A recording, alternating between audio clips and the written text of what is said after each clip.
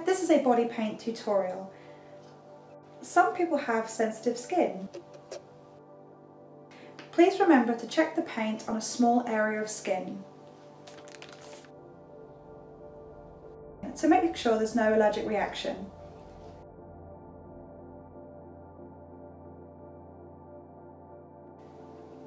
Do you remember doing handprints at school?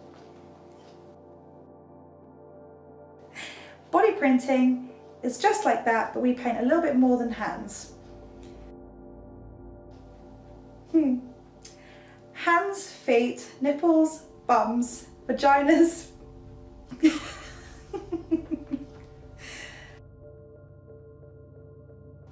With body printing, you can create marvellous art. You will need some oil or cream as a barrier against the skin to minimise staining and to keep paint out of intimate areas.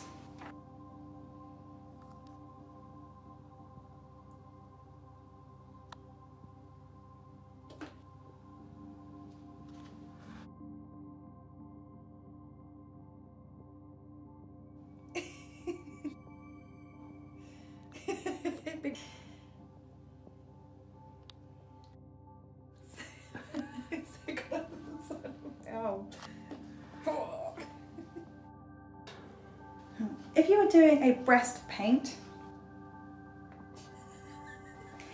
it is best to cover the nipples while you apply the paint.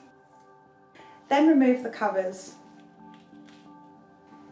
and dot the nipples with a fingertip of paint. Body heat dries paint. Squish them in. So whatever you choose to print, it is best to work quickly.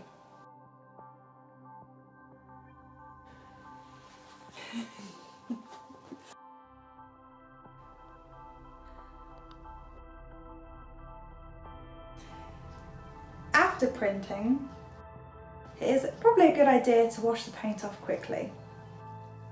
Jump in the shower or bath or use wet wipes. Your body is beautiful. So take some time to appreciate the prints that you've made.